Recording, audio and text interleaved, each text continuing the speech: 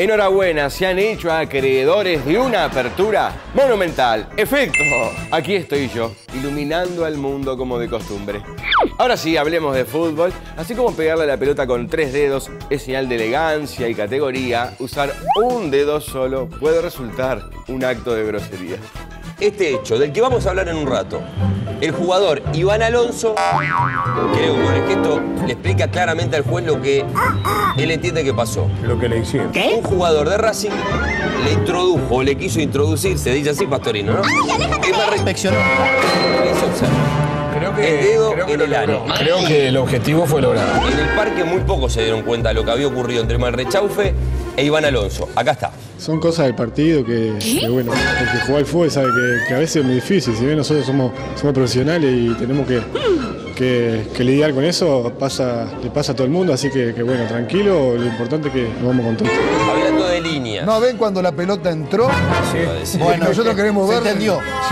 Siento un dedo. Un dedo. No hay nadie que se pueda imaginar, ningún línea, ningún árbitro, que a quién le va a meter el dedo en el a un jugador dentro de la cancha. Claro, que le meta el dedo en, la colita. No, Yo, yo, yo por lo menos soy juez de fútbol, no, estoy mirando eso, estoy viendo el partido. Marrechaufe le acaricia con su mano derecha la nalga derecha a Alonso. Más que una caricia. Y después le intenta, este, ¿Qué? eh, sí, bueno, lo que Alonso mostró. Le intenta este, colocar un dedo en el ano, sinceramente. Así se lo digo.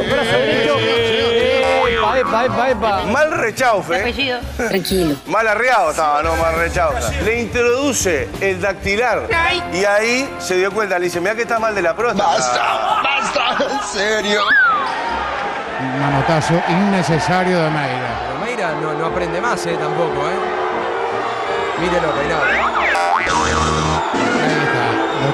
Lo, lo tiene agarrado. ¡Oh, no! Lo toma. ¿Qué está haciendo?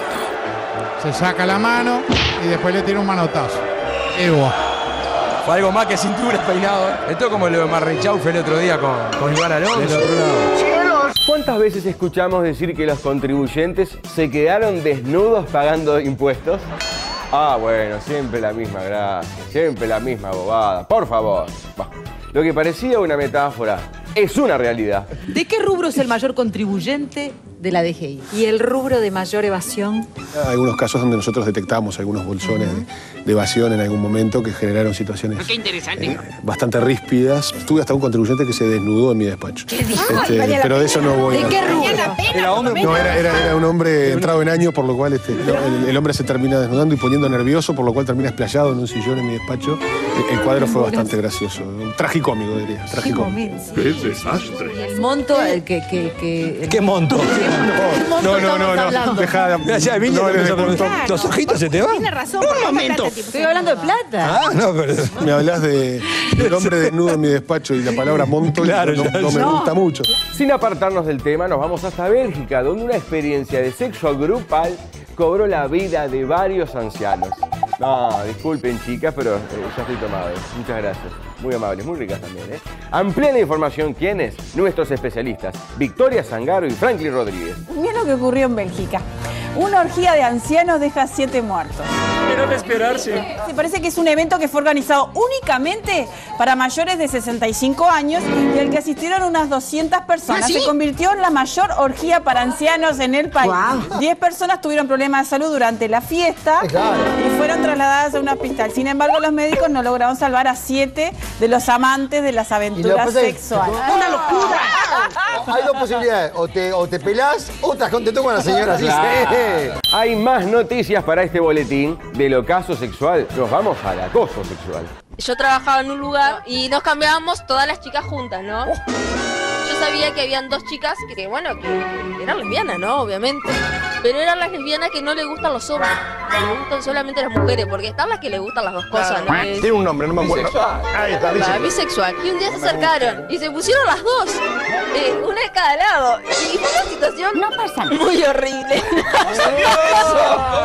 y, tal, y se empezaron a reír al verme a mí llorar y me dijeron, no, te estamos jodiendo, no te vamos a hacer nada. Y tal, que me Después quedaron hicieron. muy amigas. ¿Qué tratas de decirme? No, no, no, eh, Oli, quedé- No se encontraron nunca. No, no, no, no, no es que me quedé ofendida, ¿no? Pero después de esa experiencia como que... claro. No lo entendió el chiste. Cualquier cosa que diga puede ser usada en mi contra, por lo que me voy a limitar a presentar a alguien que perdió el juicio Hace rato, me refiero a quién? Al motorizado Rafa Villanueva. Los desafíos en Man vs. Food. Esto se trata de una competencia de velocidad. La hamburguesa chica. ¿Cómo hago para abrir la boca tan grande? ¿Vos sabés qué? ¿Cinco minutos? Hasta ahora el mejor tiempo ha sido 5 minutos. Vamos a pelearla, ¿no? ¿Todo bien? ¿Te sentís bien? Perfecto. Tiene mal color. ¡Oh, no! Muy difícil. No tengas miedo. Esto es peor que jugar en la altura de La Paz. Tranquilo. ¡Tres, dos, uno! ¡Hamburguesa! Son periodistas deportivos. Hambre tienen. Si tú lo dices. Soy muy listo, ¿no? En un minuto y medio, dos, llama a la ambulancia nomás.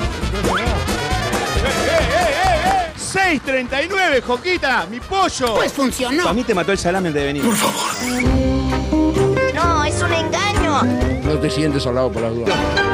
Llegamos al final, nos vamos a despedir con el desafío de la hamburguesa. Efecto, Joquitas, querido. No, está muy san también, qué maravilla. Bueno, chiquilines, no va a ser tan fácil esta vez, no van a ser cuatro hamburguesas, van a ser siete hamburguesas. Sí, séptuples, una hamburguesa por cada uno de los ancianos belgas que cayeron en el cumplimiento de su deber. Así que, a comer que se acaba el mundo. ¡Top! No afuera el mundo, vos tampoco.